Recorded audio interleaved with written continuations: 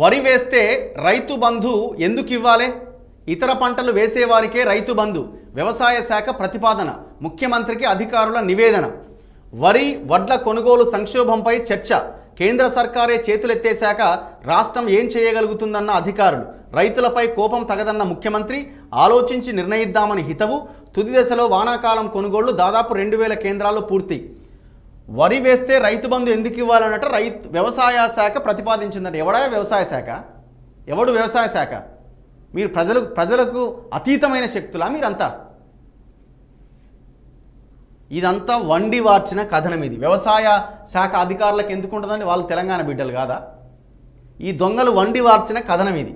అంటే వరి వద్ద వరి వేసిన వాళ్ళకి రైతు బంధు ఎందుకు ఇవ్వాలని వాళ్ళు అనడం? ఏ లేదు లేదు అందరికీ ఇవ్వాలని ముఖ్యమంత్రి అనడం? ఇట్లా కేసీఆర్ అంత గొప్పోడని చూపించే ప్రయత్నం. వరి వేస్తే రైతు బంధు ఎందుకు ఇవ్వాలనా మరి వంద ఎకరాల ఐదు వందల ఎకరాలు ఉన్నోనికి రైతు బంధు ఎందుకు ఇవ్వాలి ఇది ఎందుకు ప్రతిపాదనలు సిద్ధం చేయరు? వంద ఎకరాలు ఉన్నోడికి రైతు బంధు ఎందుకు ఇవ్వాలండి రైతు అంటే ఎవరు? కష్టించి ఆరుగాలం కష్టించి శ్రమించినోడే రైతు. అమెరికాలో పండుకొని కౌలుకి ఇచ్చినోడు రైతు ఎట్లయితాడు? వాళ్ళకి ఇస్తున్నాం మనం రైతు బంధు.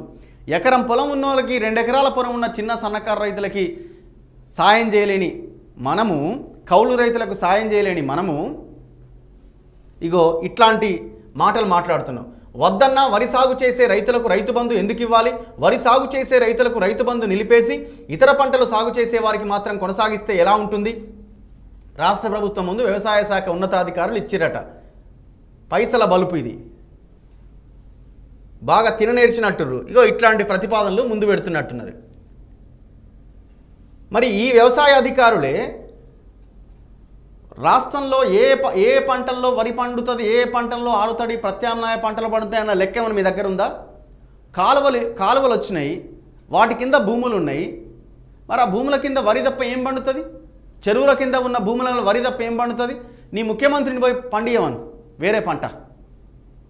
నువ్వు సన్నొడ్లు వేసుకోమని జనాలకు చెప్పి నువ్వు దొడ్డొడ్లు వేసుకున్నావు. ఇప్పుడు ఏం వేసుకున్నావు నీ నీ ఫామ్ హౌస్లో వరి వేస్తున్నాడు రైతు బంద్ చేయడాడు ఎవరిని జాగి నీ అయ్యా జాగిరి నీ ఇంట్లోకి వెళ్ళి ఇస్తున్నావు. జనం సొమ్ము జనం ట్యాక్సీలు కడితే వస్తున్నాయి మీకు జీతాలు.